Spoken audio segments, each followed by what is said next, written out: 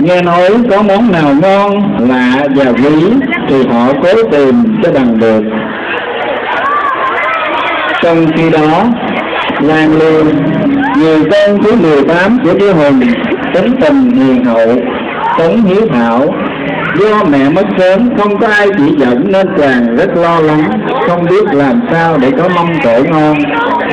Nhưng may thay, một đêm, chàng nằm mộng. Trong giấc mơ, có một vị thần đã chỉ cho chàng cách làm các món ăn ngon để dâng lên vua cha, cúng tế đất trời và tổ tiên ngày tết.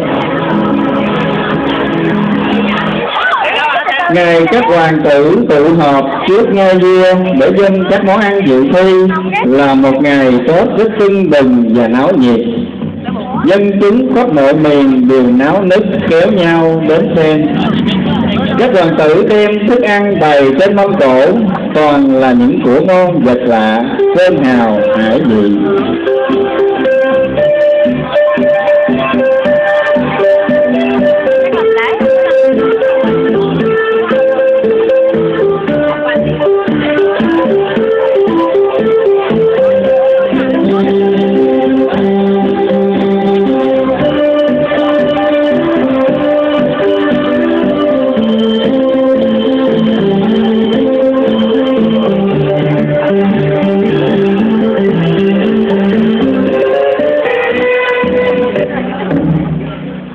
Các hoàng tử dân lễ vật lên cho vua cha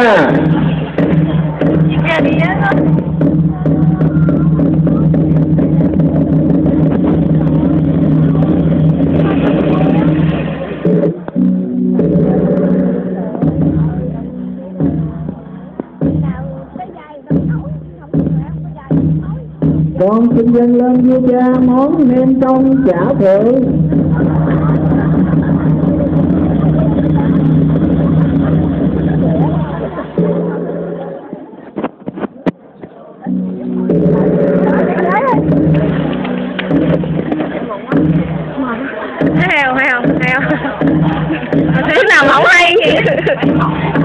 thấy đi con mà buồn buồn con xin dâng lên vua cha món đà điểu tìm phúc ốc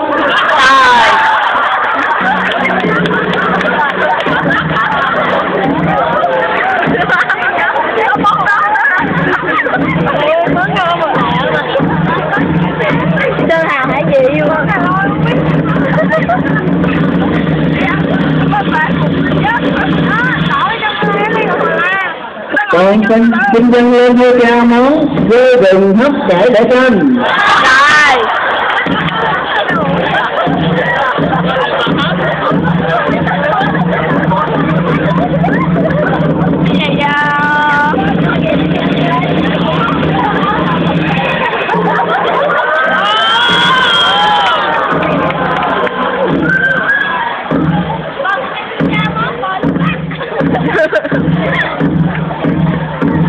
xin dâng lên vua cha món cá cấu lúc chiên chi giòn. Trời trời.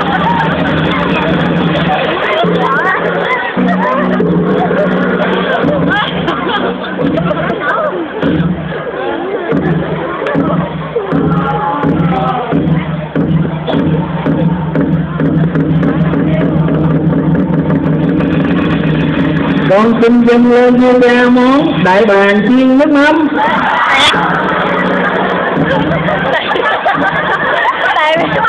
Và cuối cùng là hoàng tử lan liêu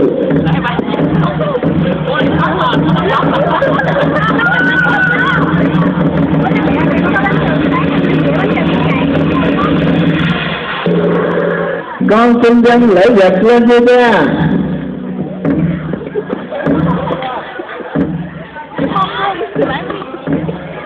này lang liêu các hoàng tử anh con dâng các lễ vật là sơn hào hải vị quý hiếm. Hay ha. Sao lễ vật của con chỉ có những cái chiếc bánh bình thường thế hay lang liêu?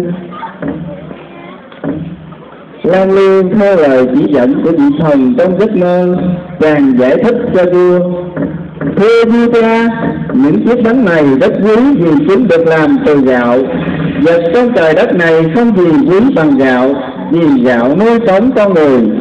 Bánh hình tròn tượng trưng cho bầu trời bánh hình vuông tượng trưng cho mặt đất, lá bọc ngoài tượng trưng cho thiên nhiên quanh ta bánh có nhân tượng trưng cho công ơn cha mẹ sinh thành dưỡng dục vua hùng trầm ngâm suy nghĩ. Những chiếc bánh bình thường này chứa đựng thật nhiều ý nghĩa cá khen thay cho tấm lòng hiếu thảo của con ta. Rồi vua nói với các con này các con lễ vật quý không hẳn là cao sang mà phải cốt ở tấm lòng. Lễ vật của Lan Liêu dâng cho ta có rất nhiều ý nghĩa. Nó nhắc nhở chúng ta phải biết quý trọng hạt gạo nó dạy cho ta phải biết yêu thương, hiếu thảo với cha, mẹ, ông bà, tổ tiên, ý thức về trời đất. Đã khen cho cái lễ vật quý giá này. Vì thế, ta tuyên bố sao thôi vị cho hoàng tử là Liêu không hoàng tử nào có ý kiến gì vì ai nấy đều nể phục lan liêu và cũng từ đó mỗi khi tết nguyên đáng đến mọi người đều có tục lệ dùng bánh chưng bánh dày để cúng tổ tiên và trời đất. Hả? Chưa? Chưa